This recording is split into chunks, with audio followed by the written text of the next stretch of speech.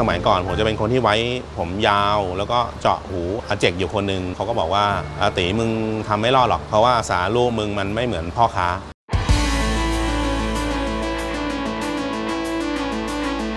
มันเป็นคำพูดคำหนึ่งเลยที่ทำให้ผมรู้สึกว่า ผม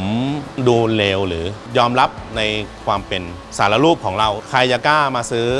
ของของเราในเมื่อเราก็มีรอยสักเต็มเลยพอท้ายผมก็เปลี่ยนแปลงตัวเองถอดไม่ได้อย่างเดียวคือรอยสัก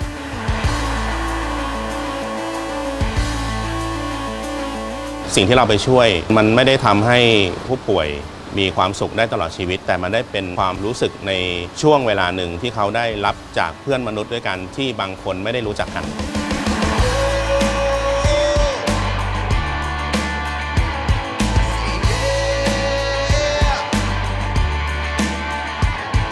สวัสดีครับ ผมนายเอกชัยแซ่เตียวนะครับชื่อเล่นชื่อตี๋นะครับ เป็นประธานชมรม200ใจบุญเกื้อหนุนผู้ยากไร้นะครับ เป็นผู้บริหารของร้านซิกเทนช็อปนครปฐม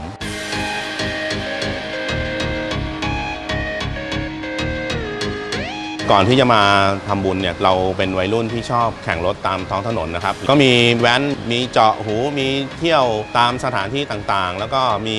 รอยสักเมื่อประมาณ 10 ปี 20 ปีที่แล้วนะครับ ไปป่วนเมือง แล้วก็พอวันหนึ่งเราได้โตขึ้นมาเนี่ยเราก็ได้รู้สึกว่าเฮ้ยสิ่งที่เราทำเนี่ยคือมันกดชาวบ้านเขา มันสร้างความลำคาญให้กับผู้คน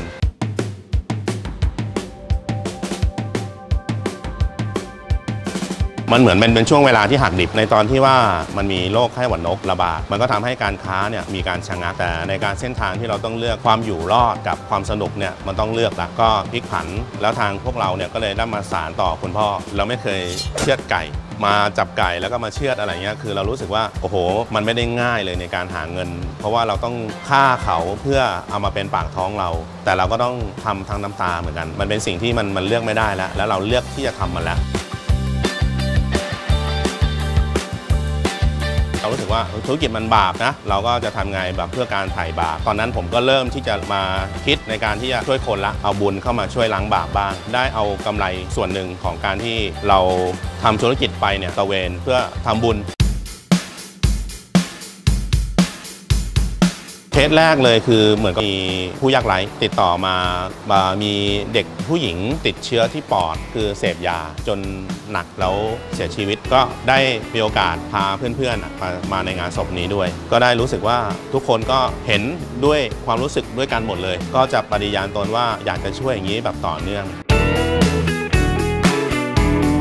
ทีนี้มันเริ่มกระจายเป็นวงกว้าง จากนครปฐมจากในใกล้ๆบ้าน มันก็จะเริ่มไปจังหวัดราชบุรี จังหวัดเพชรบุรีผลสุดท้ายแล้ว ชมรมก็มีการช่วยเหลือแทบจะทั้งประเทศละ ตัวเนี้ยคือ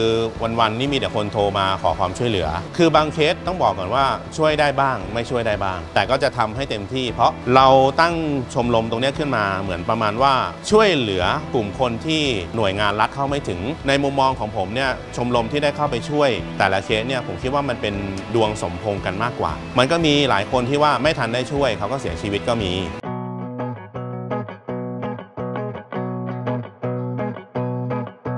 คือชมรมสองร้อยใจบุญเกื้อหนุนผู้ยากไร้เนี่ยช่วยเหลือศพเป็นอันดับแรกบางทีเราเข้าไป เหมือนกับว่าเขาเดินไม่ได้อย่างเงี้ยเขาก็เริ่มขอรถวิวแชร์ ขอเตียงผู้ป่วย ไปไปมามาคือจากการที่เราช่วยเฉพาะคนเสียชีวิต มันก็จะมีเริ่มผู้ป่วยก่อนที่จะเสียชีวิตละคือคนเสียชีวิตเนี่ยเราไปเขาก็สิ้นลมแล้วก็ได้เห็นแค่รูปร่างเขาแต่คนที่ยังทุกข์ทรมานที่ยังแบบนอนรอคอยกำลังใจ นอนรอคอยความตาย มันทำให้เรารู้สึกว่าเราก็อยากจะช่วยในสิ่งที่เขาขาดทำไปทำมามันก็แทบจะครบวงจรเลย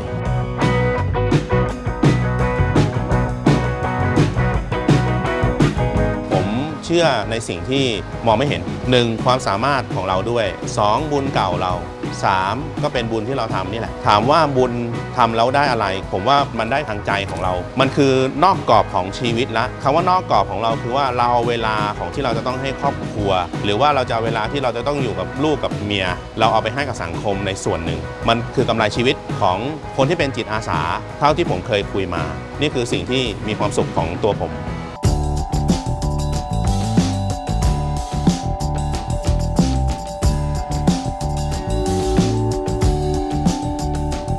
ทางชมรมสองร้อยใจบุญเนี่ยขอให้เป็นแบบอย่างให้กับทาง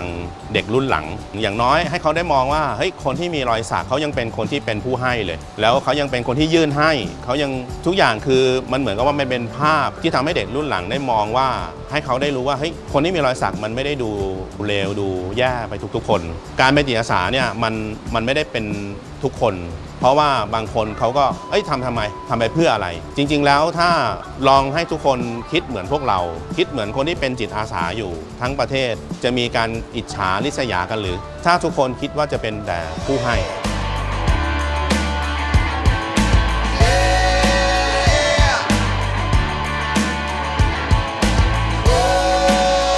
คือผมจะทำไปจนไม่สามารถหาเงินได้ ถ้ายังหาเงินได้ก็ยังจะทำต่อไปจนหมดลมหายใจนะครับ ในการช่วยเหลือสังคม เพราะว่ามันคือความสุข มันเป็นความสุขของการกระทำของพวกเราในทางจิตใจของเพื่อนมนุษย์ด้วยกันครับ